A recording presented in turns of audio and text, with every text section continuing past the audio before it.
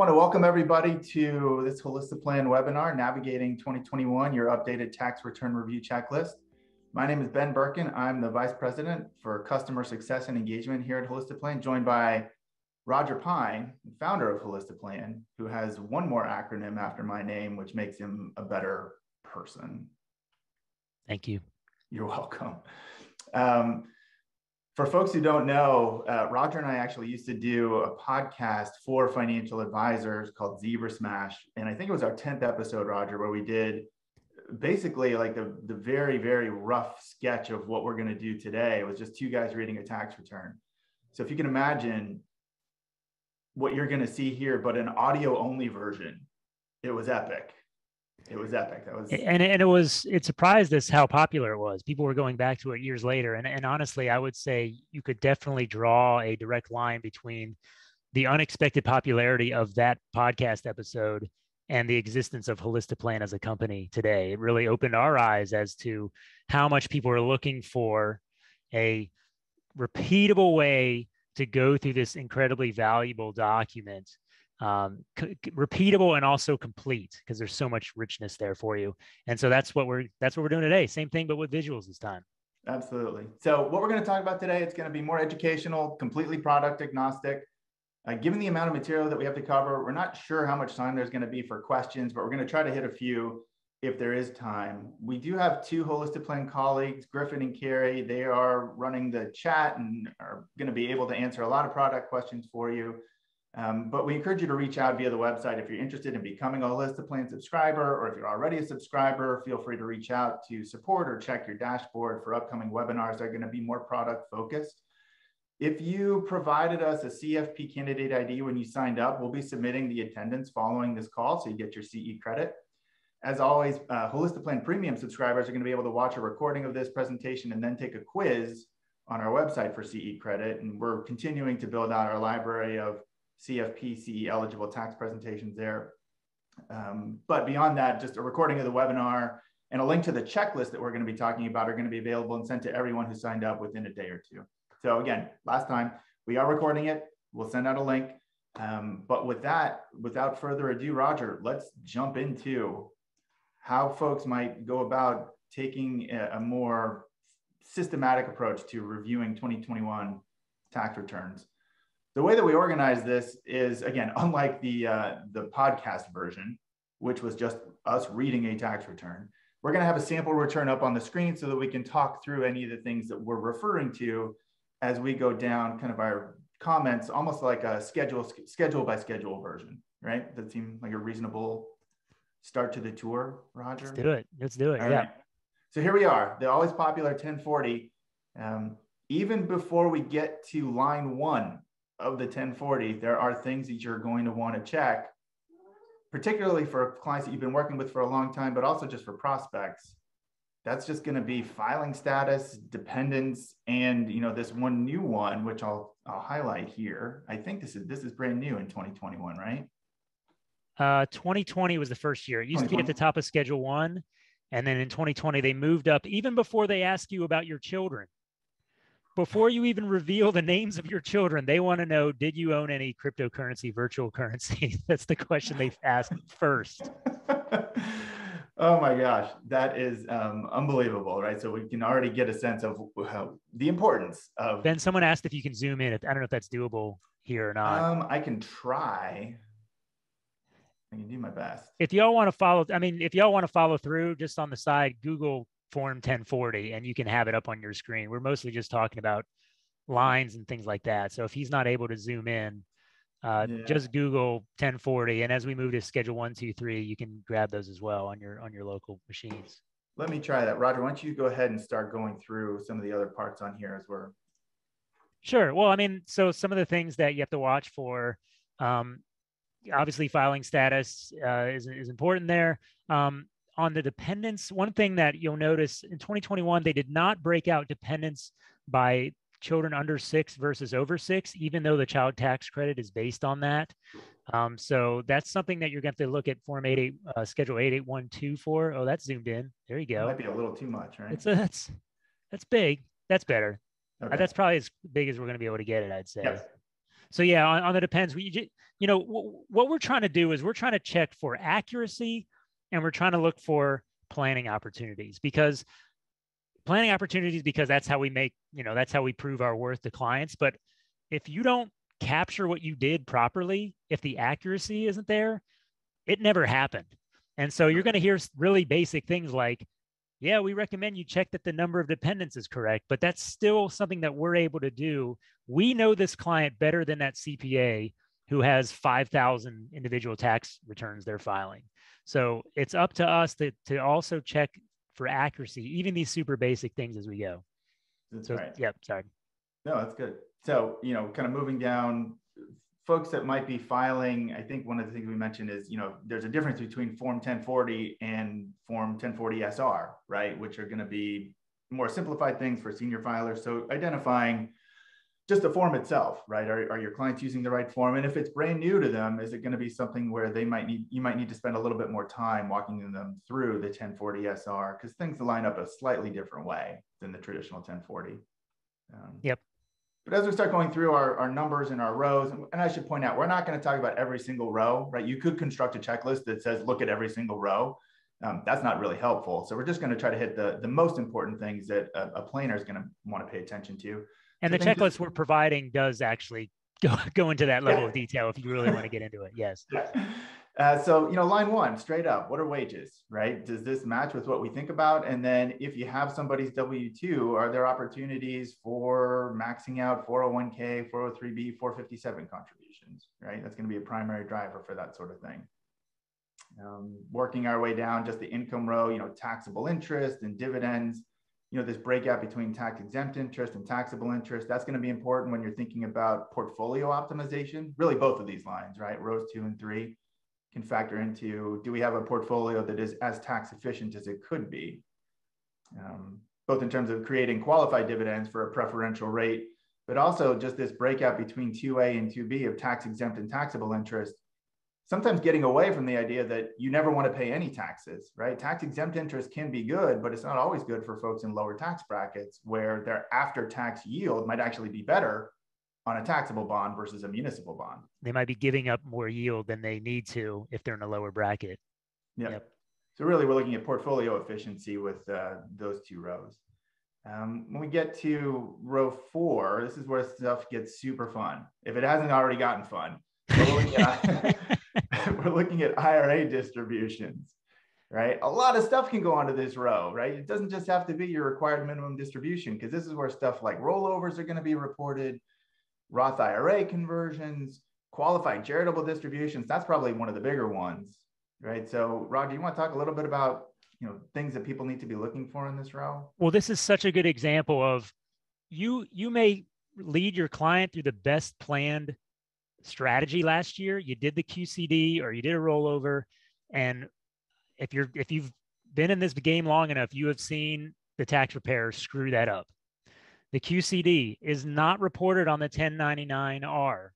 That's that's information that has to be provided to the tax preparer. The tax preparer has to make sure that they enter that. It gets lost, and so they may report it as taxable. So, despite your best efforts to create a tax-free withdrawal from the IRA, if they report it as taxable, you didn't get any benefit for your client.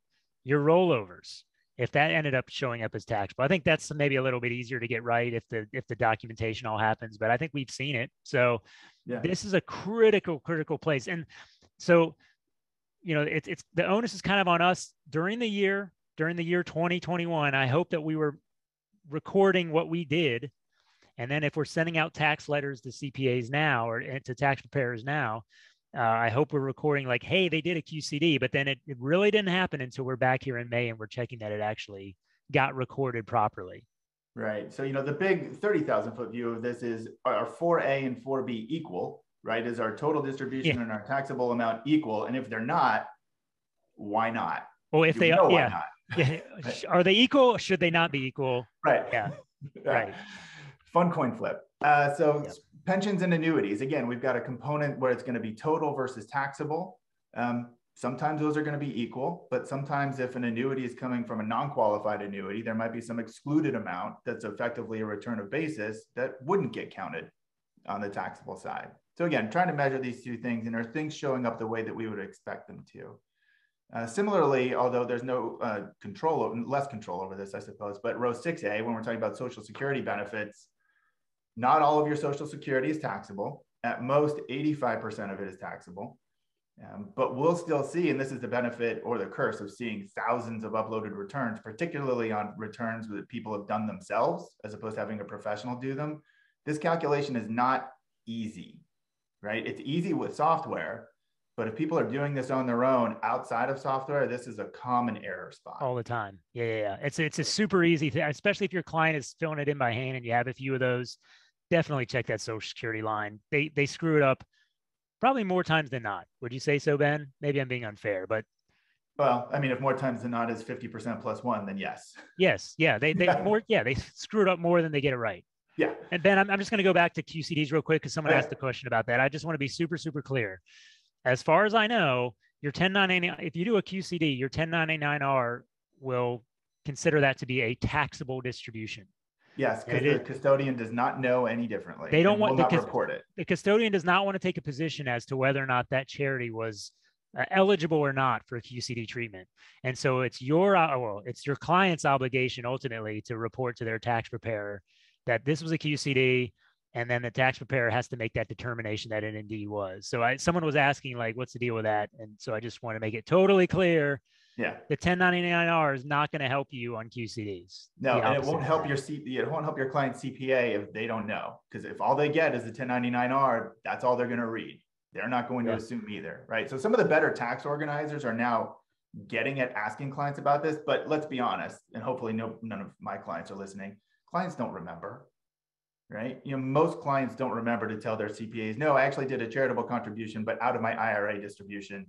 And almost every year you see something show up on your schedule A, which we'll talk about, that you know came out of an IRA and doesn't belong on a schedule A. Right. So Ben, ben a, a, clarification on the social security one. Someone said, is it always 85%? No, all no. Is like it's wrong if it's 100%. If if, if, your, if your client who's filling in their own tax return puts 100% of the social security as taxable, you know that's wrong. And that's the error we see more often than not with people uploading returns. It could certainly be less than 85% taxable. Yeah, it's, it's actually a very complicated, it's not it's not a straightforward uh, answer. It could be 0, it could be 50, yeah. it could be 85, but it will never be more than 85%. Correct. Yep. Right. Okay. Uh, so row seven, we're at capital gains. You know, this is going to be just a clue, right? If there's a negative number on here, that's helpful to know, important to know, not just for losses for the current year, but knowing that there might be carry forward losses to use in future years.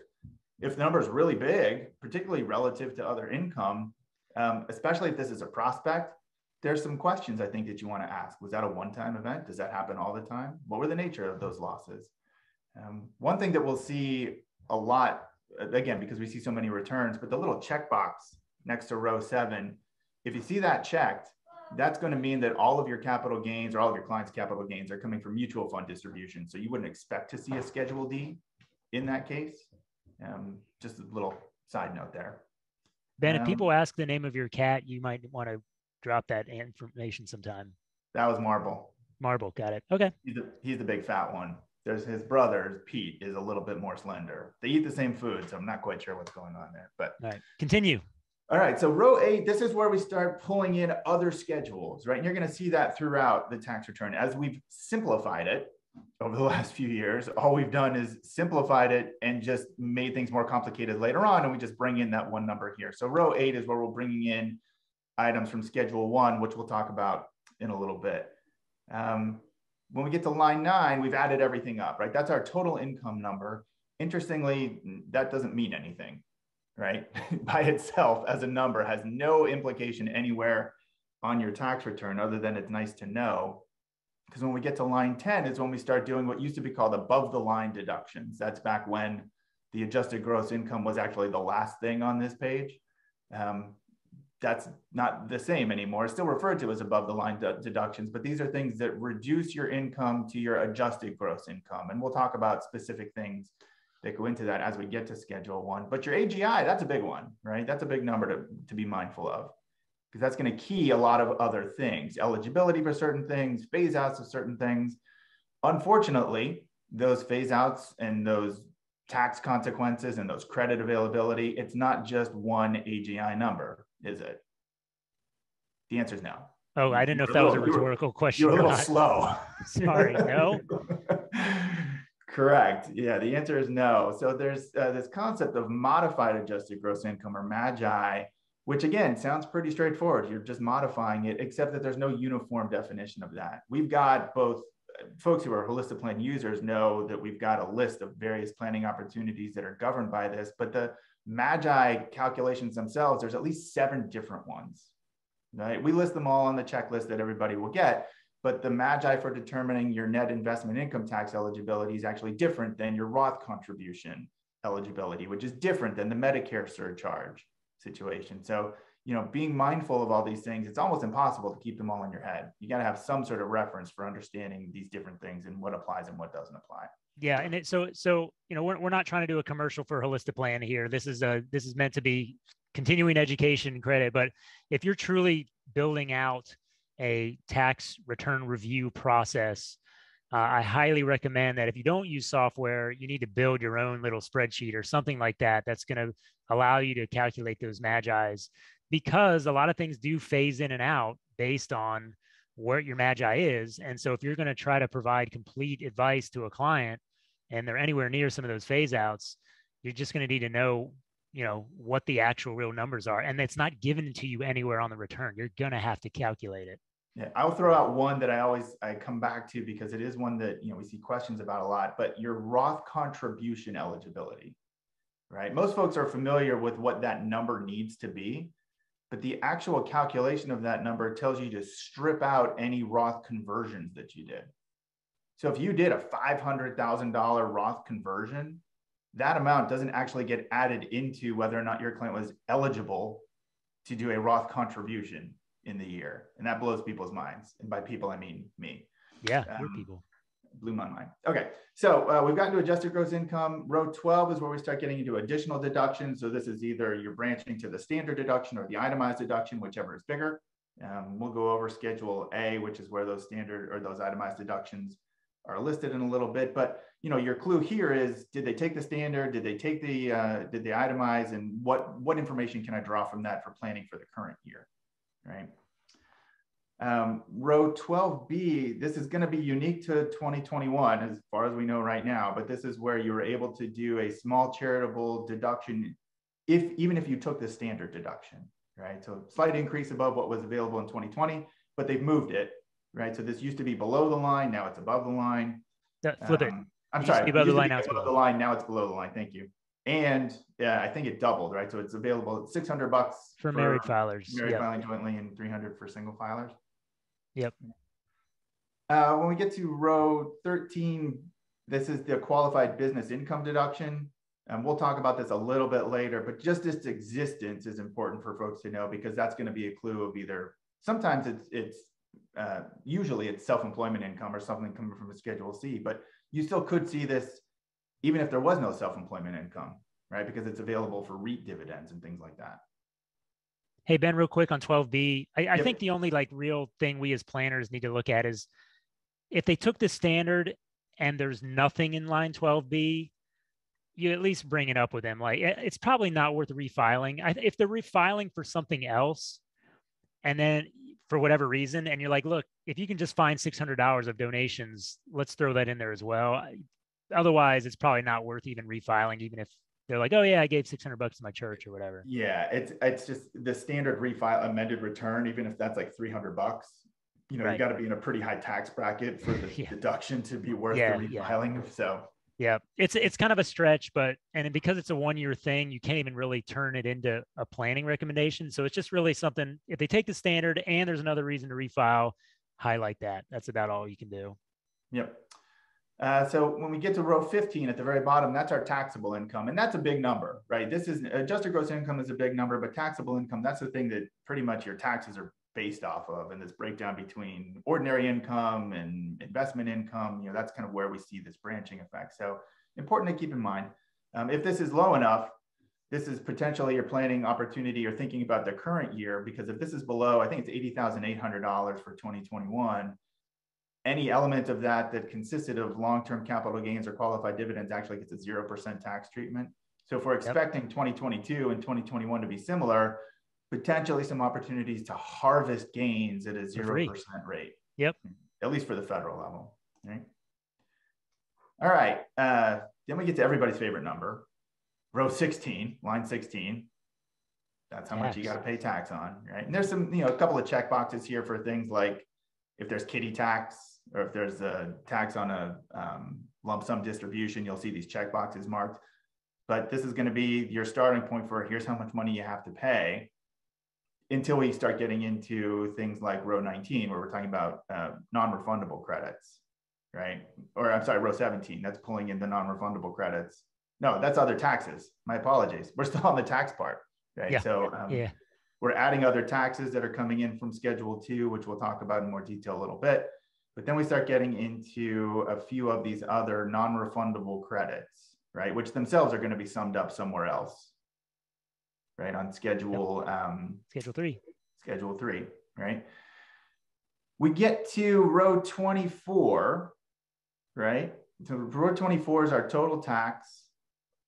And even from that, that's not going to truly be your total tax, right? In some cases, right? So you take your tax, you take your non-refundable credits, and that gets you to total tax. But then from total tax, you can apply your refundable credits, which will be things, at least for last year, like the refundable child tax credit or American Opportunity Credit or the recovery rebate credit, which is what we start seeing in rows, you know, the, the high 20s, low 30s.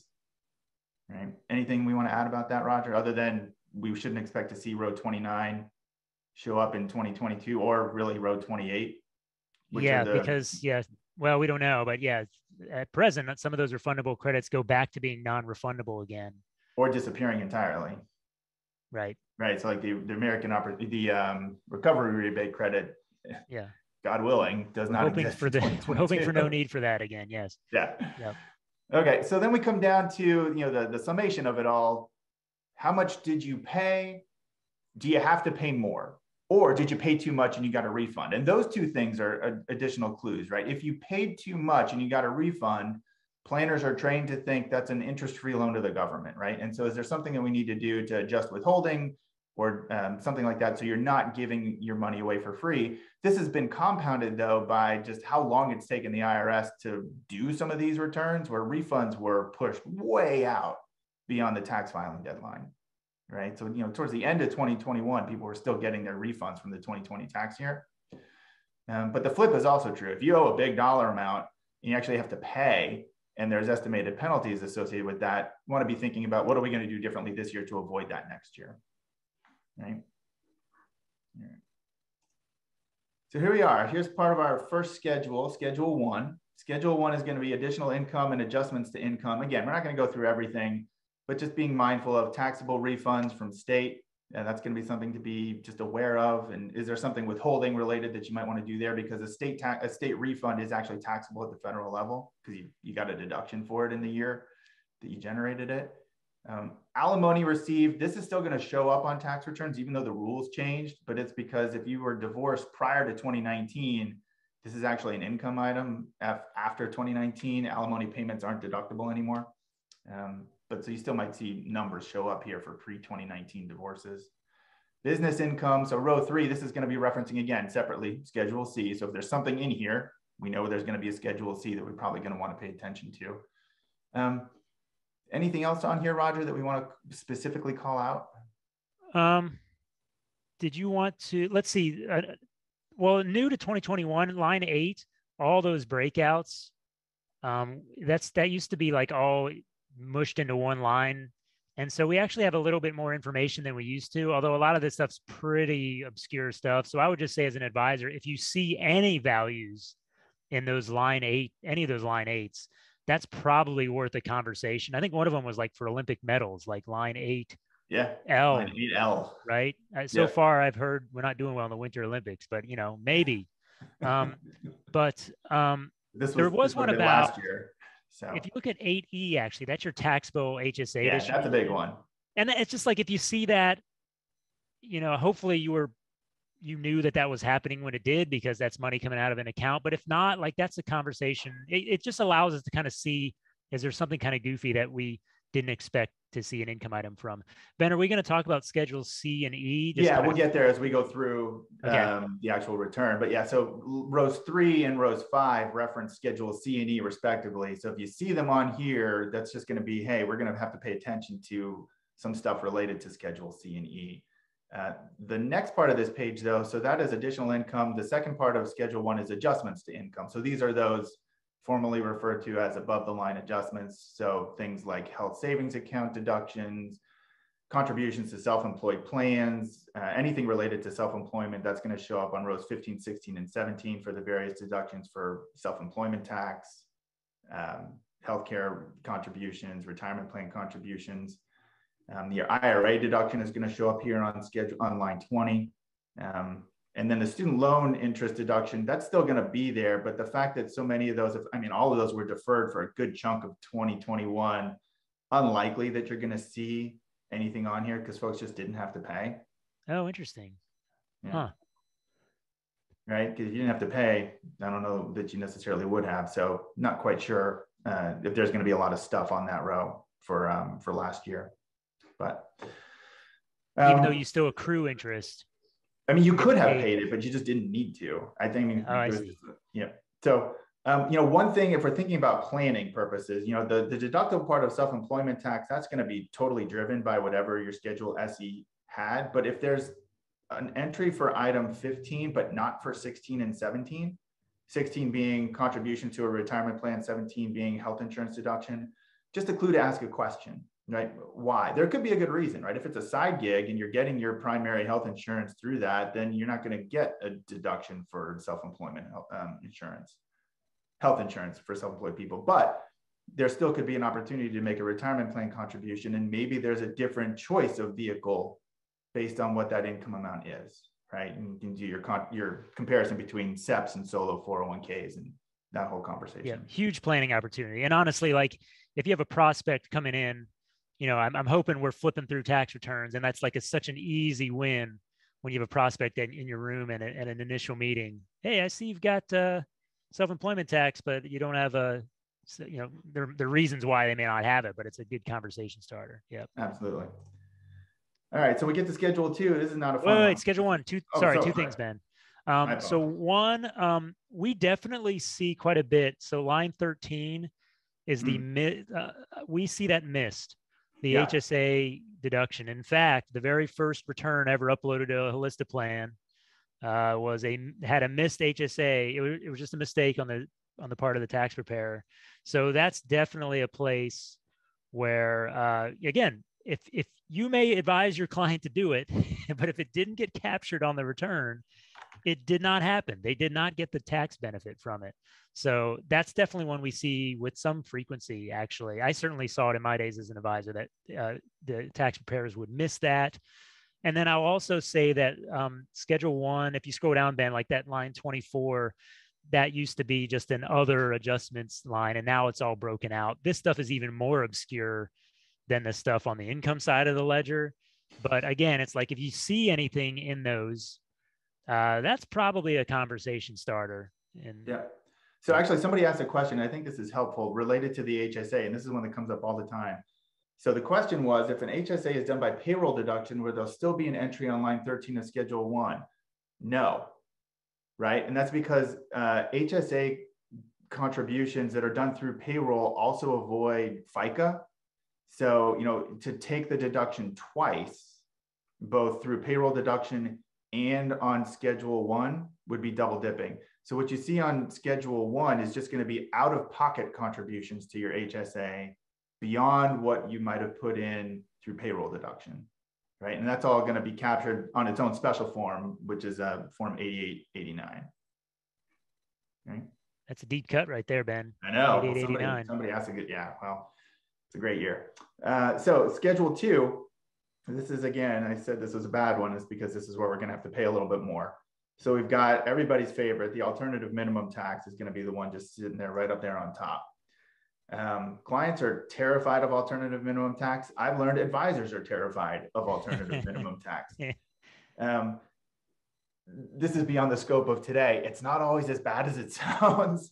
Um, and there can sometimes be some interesting planning opportunities. But if you see something here, that means that you know something funky is going on with your client's tax return, and they've qualified for this always fun AMT club to be in.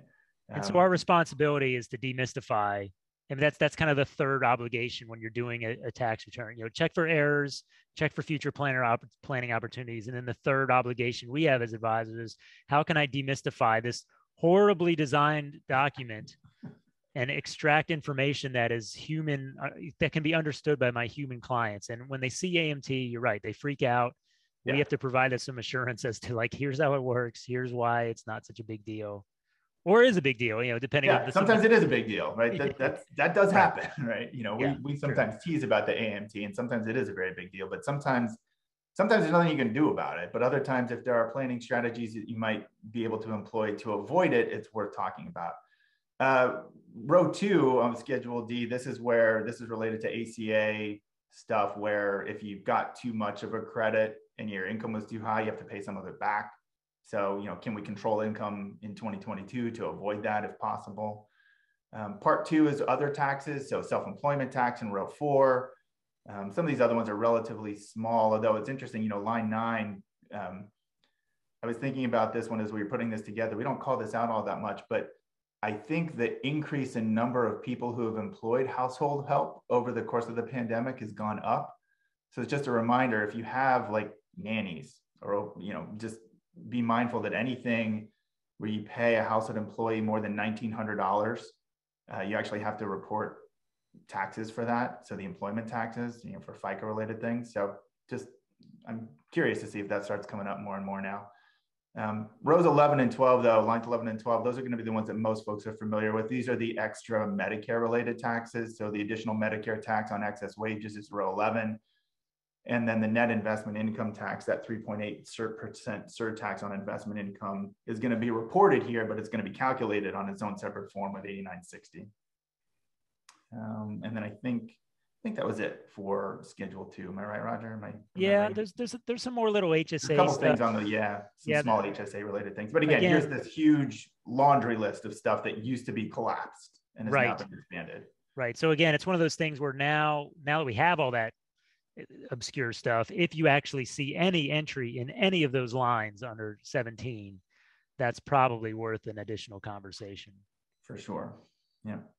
Okay we're almost at the end of our numbered schedules, which means according to the rules of Sesame Street, we start getting to talk about the letters. But mm-hmm. uh, so schedule three is credits and payments. So part one is going to be all the non-refundable credits. You know, some of the more common ones that you see: foreign tax credit in line one, credit for child and dependent care expenses line two, education credits, um, residential energy credits. I think that the um, so two things just on the first rows one through five you know, row two, the credit for child and dependent care expenses, this is going to change from 2021 to 2022. Well, so what it, you see here. Yeah, well, it's actually refundable in 2021, but I think in some cases there's some funkiness with the rules in 2021 where I think like if you have foreigner, if you take the foreign earned income exclusion, some of those credits that are refundable are in fact treated as non-refundable. So that's why you're like, yeah. wait, I thought that was refundable this year.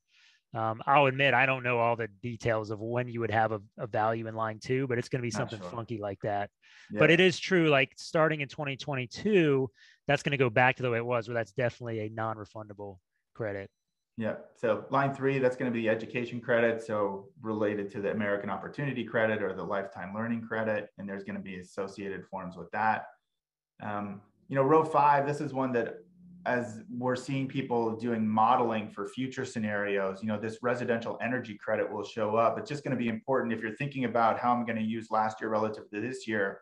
Some of these things might have just been one-time deals. And so just assuming the same level of credits year to year isn't necessarily going to be the right strategy, right? If you did these windows last year, you can't get credit for them again, right?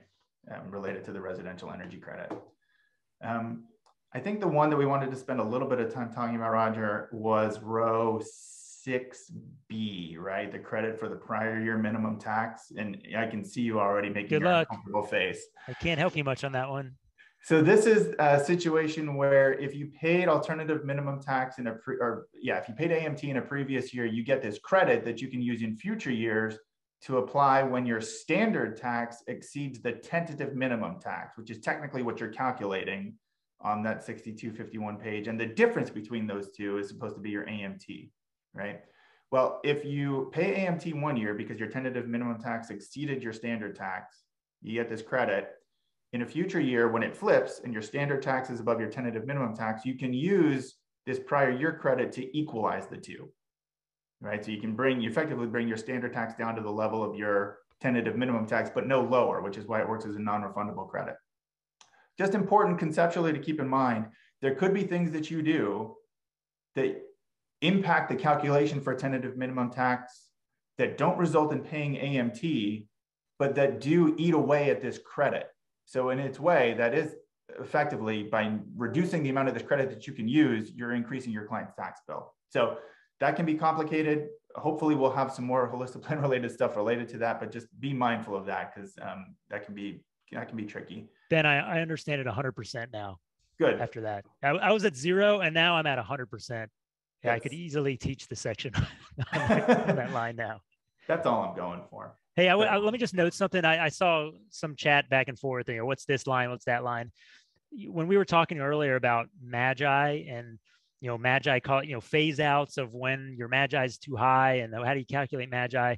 That that comes into play with a lot of these credits, right? I mean, like that's you know, for example, the dependent care credit, the the retirement savings credit, the savers credit, whatever it's called. Um, those are based on those magi's and so th- that's why having that at the ready so, you, so then when you get to this page you're able to say well wait a minute if we had just done this or if we had just maxed out the 401k look what we could have done we could have mac we could have broken open more dependent care uh, credit for example Absolutely. so that's kind of what the, where the rubber hits the road as far as that magi stuff goes okay um, let's get to Schedule A. We've hit the letters. Wasn't there a page two of?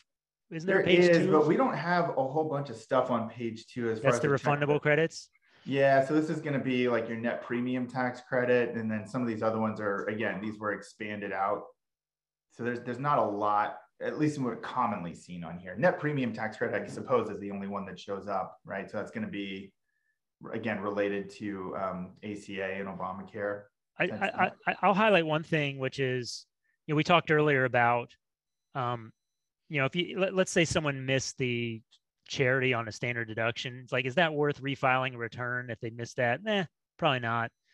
But the, the it's pot it's for someone with with kids, like especially like three or four kids, that child and dependent care credit that's only exists for 2021 can actually be pretty freaking anno- uh, annoying, pretty enormous. and um and so that's something where like i don't know about you ben but like for me i don't really ever think about the dependent care credit because like oh it, you you max out and then it gets phased out and there's only so much you can take and so do i really work that hard to get the receipts for all the preschool and all the after school stuff whereas in 2021 the caps were enormous we're talking like 10 times i'm making up a number 8 to 10 times what it was and so that's a situation where if they just kind of phoned it in as far as like reporting their dependent care expenses, the credit they may be way off on, and that may be enough to refile the return. So I think as an advisor, it's up to us to kind of at least look at that line. It was at 13G. Is that what I'm seeing? Yeah, 13G. I actually don't know that this is related to that though. No, that's the that's the that's the one for this year. Is that the one? that's the year? refundable one. Was, the no, refundable one for this year. Okay, the refundable one this year is that 13G, and this is the only year where it's the case, and it's right. it could potentially be very enormous. And so that's why I'm saying take a look at it. And if you're like, man, I don't know, they, this client has a bunch of kids, their AGI is under the 150 or whatever it needs to be, 150,000. And I know they've got three of them in preschool. Why is it so low? I think it's just worth another look because it could be enough if you dig in to look at a at a refile. So yeah, no, that's a good point. I'm I'm kind of at the edges of stuff, but you know, it's it doesn't take long to just ch- check that number and kind of finger in the air estimate. Does this look right or not? Yeah, no, that's a good point. Um, Thank you. Yeah, you're welcome. Schedule A is where we get to the itemized deductions, you know, grouped broadly into medical and dental expenses, taxes, interest, and gifts. So, you know, medical and dental expenses, you're still limited it's got to be anything over seven and a half percent. You know, we don't have anything I think on the checklist related to this, but I will throw in just a, a, a note that the list of available deductible medical and dental expenses is is actually really big. So if you have clients, particularly older clients who are also making long-term care premium payments, um, sometimes it's worth it to go back and say, yeah, if you have your receipts for everything, it's possible we can get a little bit of deduction on here. Um, but beyond that, again, it's pretty straightforward. Taxes you paid, still limited to this $10,000 cap for state and local taxes. I think in some cases, Roger, there are like some state benefits related to bunching these into a particular year if you can. If you can. Um, I mean, with the cap, it kind of, we had a good deal in Texas. You know, we don't have income tax, but we have pretty high property tax. And before the cap existed, we could bunch our property taxes into alternating years the way we do with charity, that, that same uh, strategy we, people do with charity. Yeah.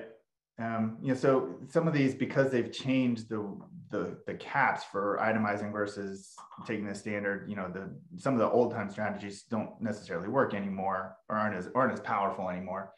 But um, so interest you pay, so is going to be for mortgage interest as well as to um, investment interest.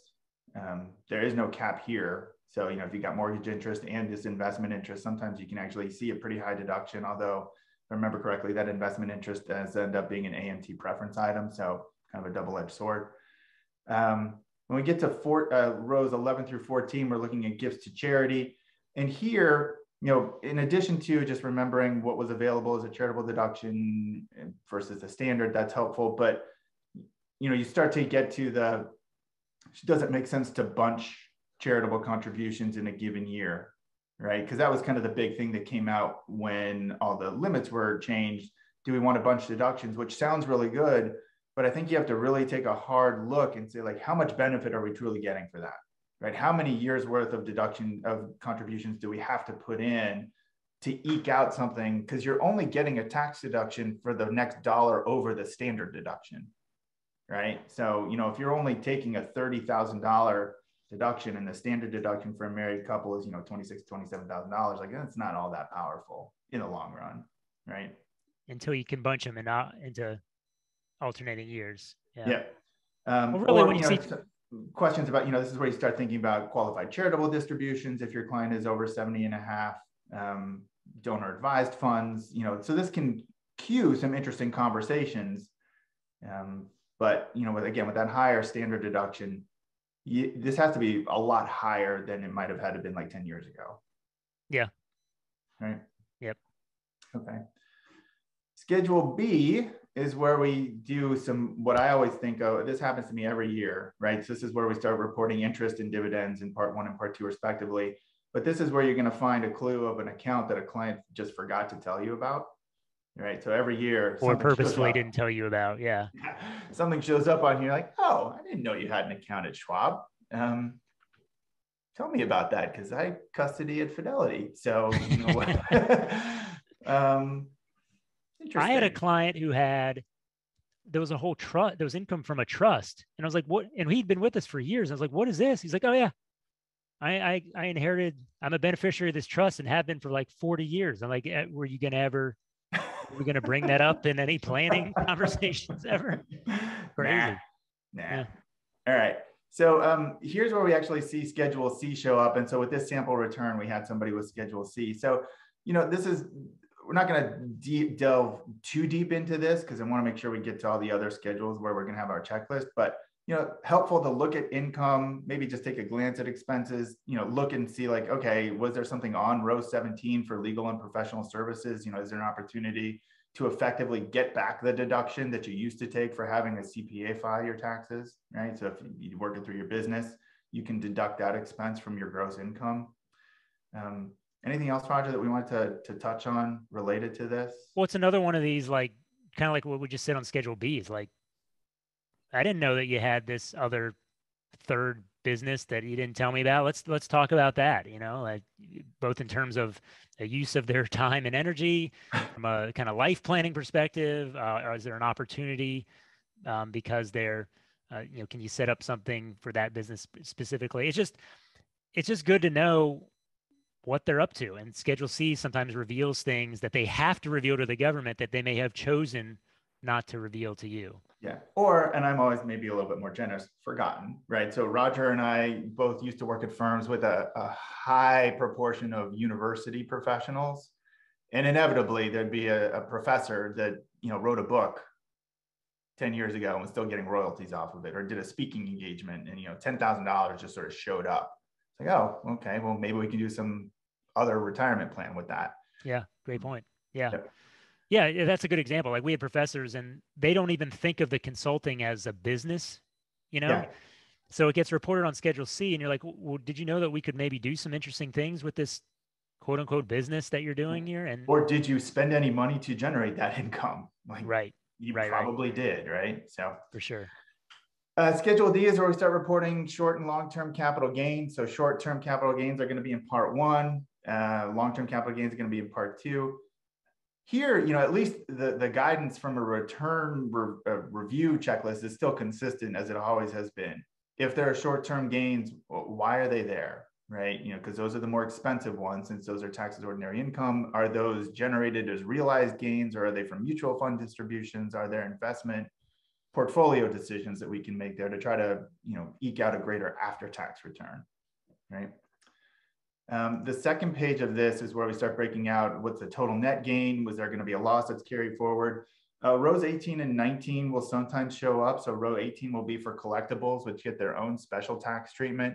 Row 19, so unrecaptured section 1250 gain, this is for depreciation recapture, which will also be taxed differently. So it still counts as capital gains, but it's actually going to be taxed as ordinary income up until you hit the point of 25%, at least for, uh, for real estate um, depreciation recapture.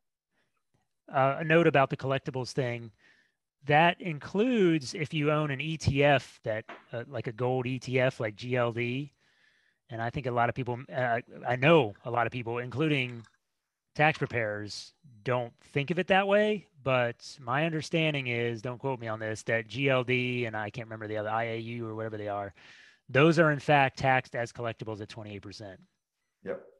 Um, the better tax preparers and certainly the best tax, the better tax prepared softwares will include the qualified dividends and capital gain worksheet. If you look at that, you'll actually be able to see how much of your capital gains and qualified dividends were taxed at 0, 15, and 20% respectively. Schedule E is where we report supplemental income and loss. So predominantly this is going to be rental real estate and royalties, but also um, partnership income. So we've given this client a, uh, a rental property in uh, Wrightsville Beach, North Carolina. So we can see here they got $15,000 of rent, $23,000 of expenses. So it looks like a really bad loss, but most of that expense came from depreciation. So just I think the, the, the, the guidance here is you can take a look at this and determine, is this a profitable activity, both on paper and in real life, right? You know, sometimes depreciation by itself can be a really good tax saving strategy, but with the remembrance that you, you're going to have to pay it back eventually, right?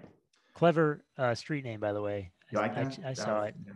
By the way, um, on schedules what was it? Schedule D. Someone was like, "Where's the where's the carry forward? What was it? Line 19? I can't. I don't remember offhand. 16. Can you go back? Yeah. The, the, my only point on that is, um, our job as a financial advisor is to have a note of that. We need to make sure that we have a central place where we're recording carry forward losses, the, the total carried forward loss. So like on whatever whatever it is, 21 right? Or is that the what? Oh yeah, sorry. you do the three thousand. Yeah, yeah. So, so actually, strip that out from this. Sixteen. Number. So sixteen is where you get the, the total loss, and then you you subtract out the three thousand, and so it's up to us to store that somewhere so that's at our fingertips throughout the year and especially at the end of the year when we're making trades. So I don't think we all want to be like thumbing back through tax returns to get that number. So this is the time to be putting that in a central place for people. Absolutely. Uh, so, you know, the second and third parts for Schedule E, where we're looking at income or loss from partnerships and estates and trusts. Um, again, not much, I don't think, guidance wise here, because these can be really complicated uh, equations for sure. But just the existence of something here right. is helpful to know, right? So, you know, there's still some folks that are still stuck with oil and gas partnerships from before 1986, which, you know, that's when the rules on these things change. But just knowing that these things are there sometimes clients will forget that they have them. And then you have to bring them up and like, oh yeah, that's the thing we bought 20 years ago, and we still get this K1 every once in a while for like 20 bucks. Yep. Well, we still have to know about it. So um, this is where you're going to find out about it more often than not. All right. I think so. We we included uh, self-employment tax in here, the the schedule. I don't think we have anything specific on our checklist because this is a pretty straightforward calculation. Um, although it can be more complicated once you start including the always popular farm income. Yeah. yeah. So Schedule 8812, this is where uh, Roger was talking about before, you know, just how powerful this document can be now for the child tax credit that is, at least for last year, is going to be refundable. Um, I think the bigger guidance here, not just that it's refundable, but that we had the advance payments coming in. So what this page effectively works as now is both a calculation of the credit itself, but also the reconciliation between the advance payment credit and the actual calculation of your credit with the difference of those two potentially having tax impacts, right? If your advance payment and your actual credit are equal, you're not going to see anything on the tax return, right? Even though it's a credit, you're not going to see anything because you already got the money. But if your calculated credit exceeds what you received, you're going to get an additional credit that's going to show up on the tax return. And if your calculated credit um, is less than what you received, which is great. not ideal, uh, you're going to have to pay a little bit back, right? You've That's... been talking for an hour, man. You're doing great, man. I'll, so? I'll say this. So what, what Ben said is really, really important. Your client may have received a child tax credit, but on Form 1040, there could be nothing, zero. And so this revamped, this is this is newly designed for 2021, this 8812 schedule that's got all the detail you need. So honestly, just don't even look at 1040 to try to figure out what's going on with child tax credits. Go straight to 8812. That's got the breakout of who's under six or over six. We want to make sure they got that right. It's got your credit for other dependents. It's got the advance payments. Uh, we're seeing these rumors that these letters are not coming back 100% accurate from the IRS. I hope that that's just internet rumors, but that letter, what's it called? 6419 letter? 6419. It just it just rolls off the tongue. That's a snappy name they came up for it. Um, imagine the 6,400 letters that preceded it, though. Yeah, I, I, I'm collecting them all. I'm doing my best, but like there are rumors of that not being 100% accurate for people. I don't know if that's true or not, but so our job is going to be to really dig in on this 8812. I think for every client with kids, we're going to have to check it really closely. Yeah, and so the, those rumors being you're getting a letter that says you got this much, but your bank account says you got something else right? So precisely yeah one one other one more fun thing to think about. And I, and I think that that letter comes up on line 14f i mean this is on our checklist but line 14f and then also line 30 on the last page is line 14f is the dollar amount line 30 is the number of children they use to compute it. So yeah, i think it's line 30 doesn't always apply though they don't so even line, they yeah they don't always even include those pages you're right line 30 that's when that's when you've received more than you were right supposed to. Yeah, so it's very it's pretty likely, in fact, that you may not even see pages two or three of that form. That's right. 12. Uh, form 8606, this is going to be always popular because as long as we're allowed to do Roth conversions, especially when there's basis in them, which, you know, thought that might not be allowed this year, but it's back on the table um, this is the only spot that you've got to keep track of basis inside of an IRA. So this would be for a non-deductible contribution. I, you know, I think our guidance is always you want to file this every year, right? Even if you don't have any contributions or nothing's impacting it, because this is the best way to keep track of all these sorts of things. Um, you've got to do it per taxpayer too. So in this case, I think only one person of this couple has a Form 8606. But if the spouse also had non-deductible contributions in there or basis, you're gonna have to have it separated for taxpayer one and taxpayer two. Um, one thing that you know I would see regularly and continue to see is that you know rows seven through 12, which is where you do this calculation of how much is taxable, something would be wrong here right? So, you know, if you know that you did a contribute a, conversion where there was basis, you can look at this and say, like, well, if the contribution and the taxable amount are exactly the same, but there was basis, somebody did something wrong somewhere, right? Um, I say I said contribution, I meant conversion. I'll, I'll just say, I mean, if there's one takeaway from this whole thing, and I think we're in the home stretch now. We are. We are.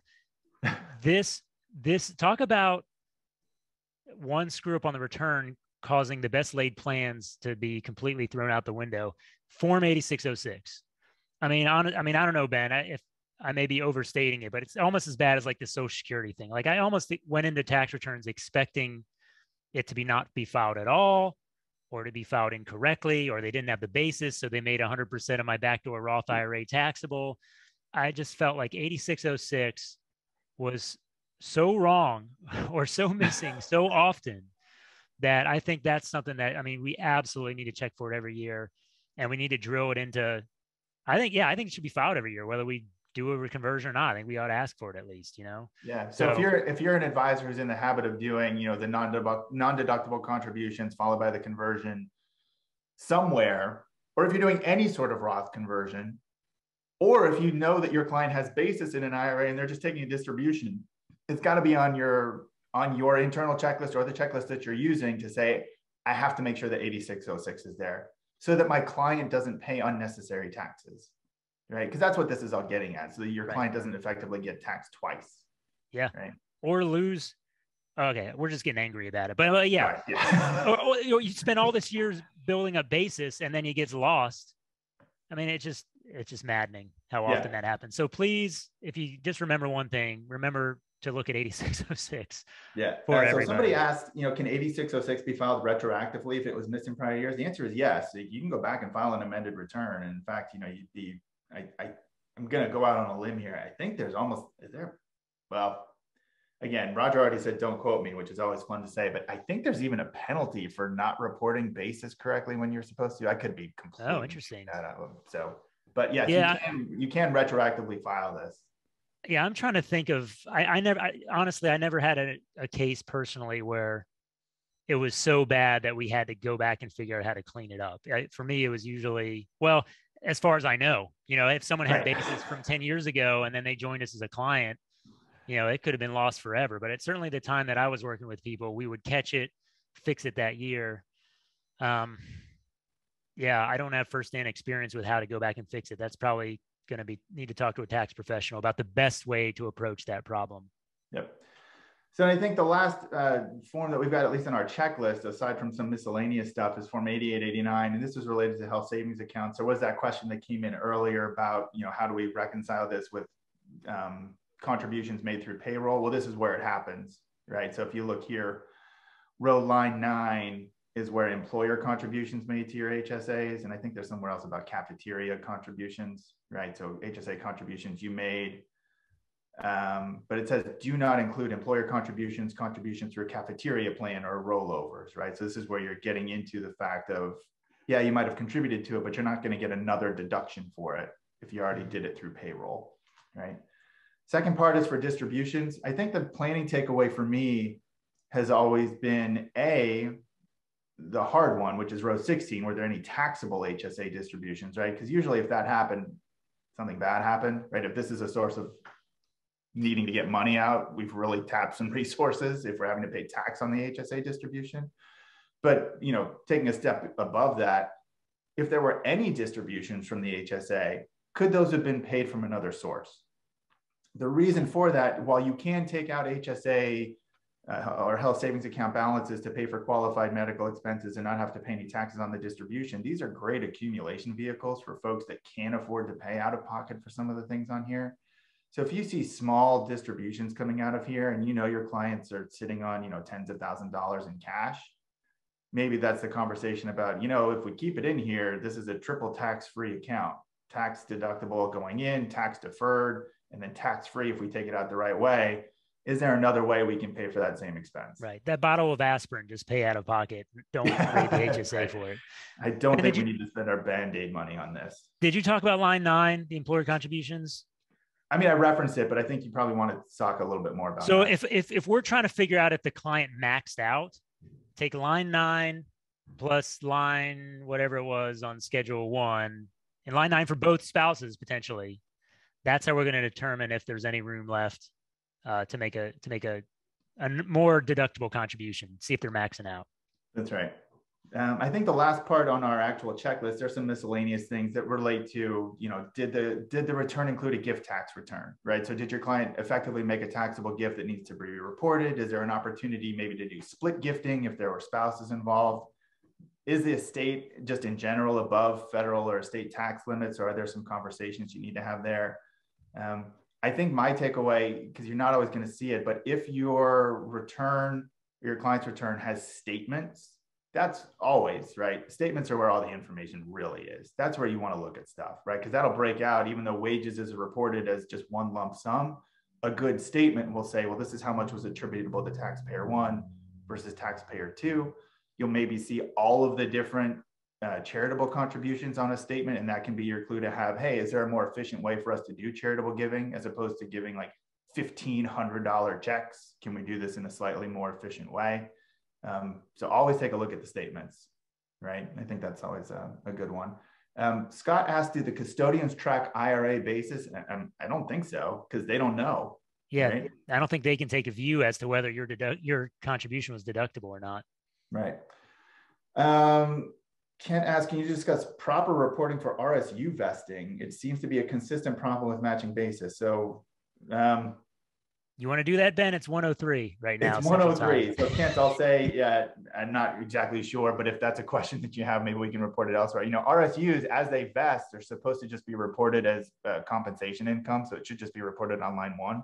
Um, now, whether or not that's being tracked appropriately, that's going to be, I think, the responsibility of the RSU custodian. So whichever company your client's employer is using to manage their RSU program.